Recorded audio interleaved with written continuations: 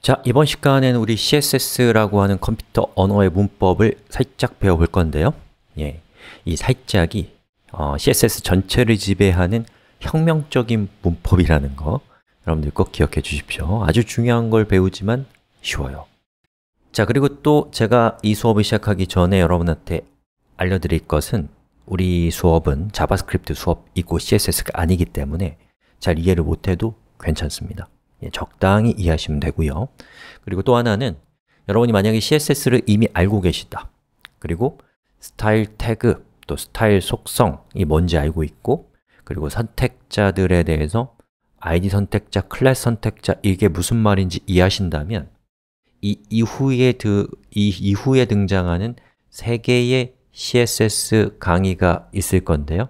그것들은 다 무시하시고 그 다음 JavaScript 수업으로 넘어가십시오. 시간 낭비하지 마십시오. 자, 저는 기존에 제가 갖고 있었던 3.html이라는 파일을 복사할 겁니다. duplicate는 복제라는 뜻이에요. 그럼 똑같은 내용을 갖고 있는 ex3.html 파일을 만들었고요. 이 파일에서 불필요한 html 태그들은 지워버리겠습니다.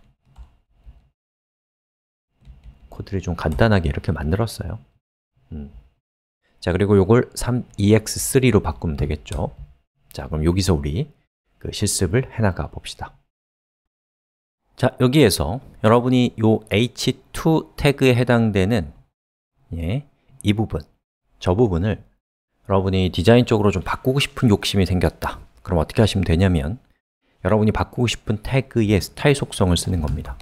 그리고 HTML의 사용 설명서에는 어, onClick 안에 JavaScript가 오는 것과 마찬가지로 스타일 태그의 아니요, 스타일 속성의 속성 값으로는 반드시 JavaScript가 온다라고 약속되어 있습니다 그럼 제가 여기에서 음, 폰트 컬러를 한번 바꿔볼까요?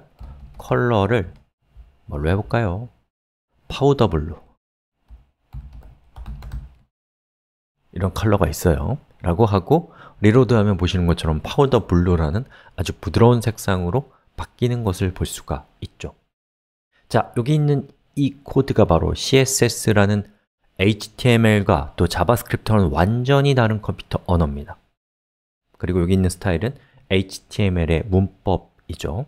즉, HTML의 문법인 스타일을 통해서 웹브라우저에게 여기 있는 이 코드가 JavaScript라는 것을 알려주는 것이고 저 JavaScript 코드가 스타일 태그가 위치하고 있는 태그에 적용되어야 한다라는 것을 알려주고 있는 겁니다. 자, 그리고 여기 있는 이 코드는 CSS라는 컴퓨터 언어의 문법 중에서 속성, 영어로는 property라고 하는 것입니다. 예.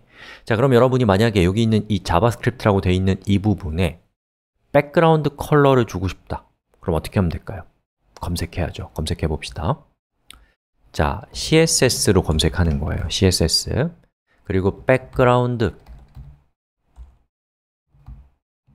컬러 이렇게 검색해 보면 또 뭐 여기 property를 넣으면 더 좋겠죠.